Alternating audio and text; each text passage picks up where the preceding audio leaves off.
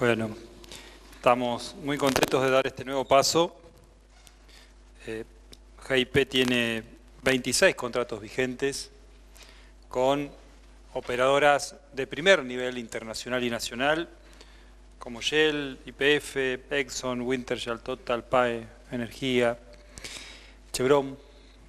Así que usted sabe que andábamos detrás de dos, porque es muy importante que estas dos, ustedes eh, y Gazprom, eh, logren llegar, lograrán llegar a Neuquén para desembarcar en el desarrollo y como bien planteabas recién, vos y el presidente GIP, poder aprender juntos, intercambiar experiencias, desarrollos y llevar adelante este recurso magnífico con el cual nos bendijo Dios, que es la cuenca hidrocarburífera neuquina. Hoy estamos celebrando un contrato fruto de esa quinta ronda cuando salimos con Alberto, con quien hoy tiene a su cargo el cargo de concejal en la ciudad de Neuquén y era ministro de Energía Alejandro Nicola, con algunas dudas, con pocas certezas respecto de la posibilidad concreta de que en esas rondas el resultado en un momento complejo, difícil, de caída del precio internacional del petróleo, de un nuevo plan que se estaba estructurando en conjunto por los distintos actores, sector privado, público, gobierno nacional, provincial y sindicatos para el desarrollo de la actividad gasífera en la provincia. Y salimos, salimos a mostrar los recursos y las potencialidades que tenía la provincia y esta quinta ronda termina con tres contratos importantes. En este caso, con Statoil, con una inversión de casi 15 millones de dólares, con un bono de 2 millones de dólares para la provincia, forma parte también de esa larga lista de inversiones que ha llevado a Neuquén al podio. Neuquén es la empresa, la provincia que en el año recientemente finalizado más anuncios de inversión ha recibido en el país, del país, de todas las provincias. Y la actividad hidrocarburífera es un sostén muy importante, una actividad que ha nutrido de manera muy importante a todas estas inversiones. Esta ronda formaba parte de los anuncios del 1 de marzo del año pasado, cuando hablábamos de 7, 8 concesiones y las áreas que GIP tenía para ofrecer, y cuando uno se acerca también el 1 de marzo de este año y uno empieza a hacer un balance, estamos trabajando en el discurso del 1 de marzo, y ve respecto de aquello que cumplimos y que no, vemos cómo aquellos anuncios que hicimos anticipados se han ido concretando durante todo el año pasado. GIP ha permitido diversificar el desarrollo de la actividad hidrocarburífera, ha permitido y permite y, y, va a seguir permitiendo en el horizonte poder apropiarnos de una parte de la generación de esta riqueza y estos recursos en su desarrollo, que es la actividad hidrocarburífera neuquina. ¿Qué sería del desarrollo hidrocarburífero sin GIP? Estaríamos perdiendo una oportunidad. Estaríamos perdiendo un jugador importantísimo en un mercado y en una actividad que hay lugar para todos. Por eso, en un proceso, en un momento en el cual nosotros estamos en el desafío de industrializar en origen nuestros recursos, en el cual estamos profundizando las inversiones en tecnología, en formación y capacitación de recursos humanos, en infraestructura. Estas inversiones permiten dar nuevos pasos a partir del intercambio de experiencias y conocimientos para lograr mayor eficiencia, mayor productividad, disminuyendo los costos y permitiendo abrir el horizonte en la rentabilidad a la diversificación de nuevas inversiones en cabeza de las compañías que ya estén y además aquellas que no habían llegado, como Statoil, que puedan llegar.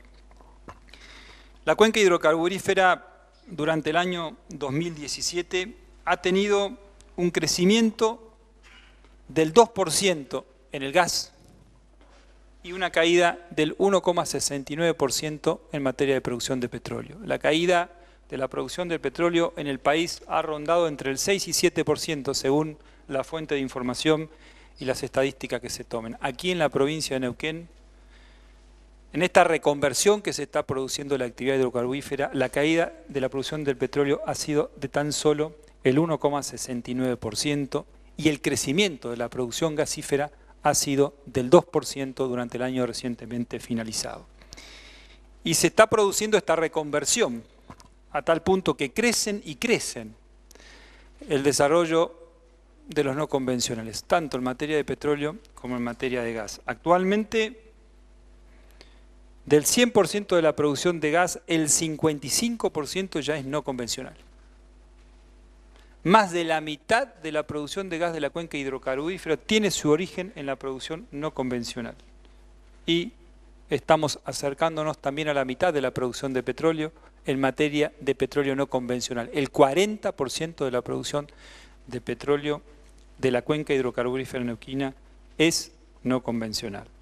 Y estas inversiones, estos anuncios y estos compromisos y estos contratos que vamos firmando van generando el fin y el objetivo en el cual estamos todos unidos. Más y mejores y reales puestos de trabajo. Desde mayo del año 2017 al mes de noviembre del año 2017 se han generado en la provincia de Neuquén 5.918 nuevos puestos de trabajo. En promedio se han generado en esos seis meses mil puestos de trabajo efectivos y reales en el sector privado. Esto es fruto de la articulación y de la ejecución de un plan alineados sector público y privado. Al mes de noviembre tenemos 113.088 empleos registrados. Esto representa un incremento anual del 2,2% y es el primer mes, luego de una larga tendencia negativa, que en el mes de noviembre hemos obtenido una variación interanual positiva. En el mes de noviembre el empleo ha crecido, el empleo privado siempre me refiero, 2,2%. Ha crecido en noviembre respecto de octubre, 2,2%. La media, el promedio en el cual ha crecido el empleo privado en el país ha sido del 0,4%, más de, más de cinco veces es la tasa de crecimiento en el último mes de noviembre del empleo privado cuando uno compara la provincia de Neuquén con la media del país. Así que con estos datos, a trabajar, a profundizar este camino. Felicitaciones por el acuerdo que han llegado con GIP, felicitaciones por el acuerdo que han llegado hace 15 días con IPF, pero tenemos 50 y 52 áreas, 52 áreas abiertas, licitadas en forma concurrente, en forma permanente, Así que que esta sea la primera, pero no la última, y que se sientan aquí como si estuviesen en su verdadera casa, sabiendo que tienen la puerta abierta en este compromiso mutuo de avanzar y crecer, de hacernos saber lo que está bien y también de hacernos saber en términos respetuosos las críticas constructivas para ayudarnos, codo con codo, para que nuestros recursos sigan creciendo, generando desarrollo económico, diversificación económica, desarrollo territorial, generación de trabajo, desarrollo social. Muy felices de que también una compañía de la envergadura de ustedes, que recientemente han estado reunidos en gira europea que ha realizado el presidente Macri con él y que tienen vuestra gira en el mes de marzo, al cual he sido invitado a disertar y ahí diré presente en el mes de marzo en Buenos Aires.